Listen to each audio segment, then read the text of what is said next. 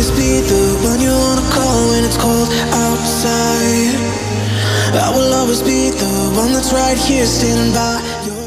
Hello hello football lovers, berjumpa lagi dengan kakak Spasi. Yuk kita simak pembahasan menarik kali ini gengs.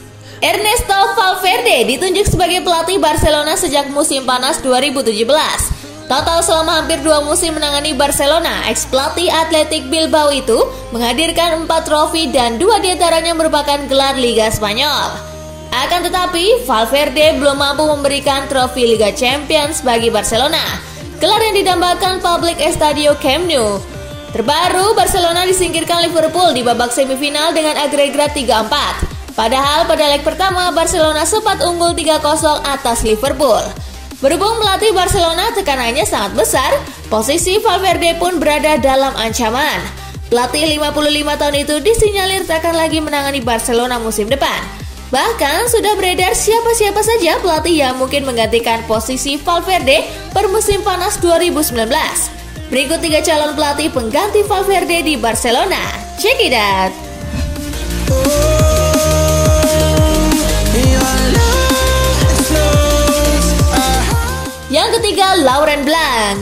Blanc bukanlah pelatih kacangan. Ia pernah membuat kejutan dengan membawa Bordeaux juara Liga Prancis musim 2008-2009.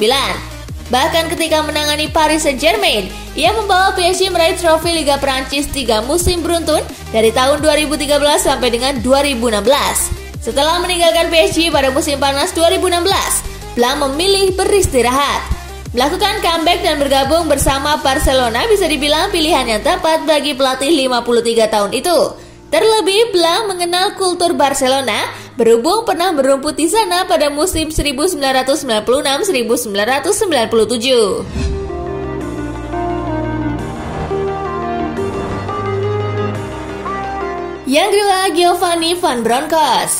DNA Barcelona ada di dalam Van Bronckhorst. Pelatih yang kini membesut Feyenoord Rotterdam itu sempat membela Barcelona dalam kurun 2003 sampai dengan 2007.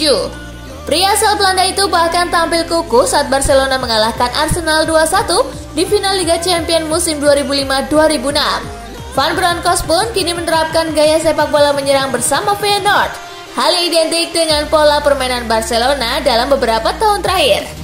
Pola permainan yang diterapkan Van Bronckhorst mengantarkan Feyenoord kampion Liga Belanda 2016-2017, menghentikan duopoli Ajax Amsterdam dan PSV Eindhoven.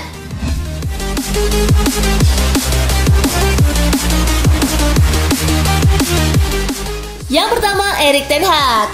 Sebelum menangani Ajax pada 2017-2018, tak banyak yang kenal dengan Ten Hag. Sebab sebelumnya Ten Hag hanya menangani klub-klub mediocre seperti Go Ahead Eagles, Bayern Munich dan FC Utrecht. Akan tetapi bersama Ajax, karir Ten Hag terangkat. Setelah membawa Ajax menjuarai KNVC Cup 2018-2019, Ajax diambang gelar juara Liga Belanda 2018-2019.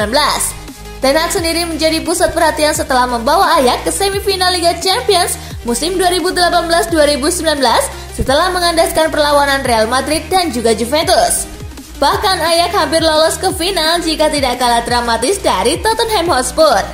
Ten Hag yang pintar membaca strategi lawan dinilai cocok untuk membesut Barcelona per musim depan.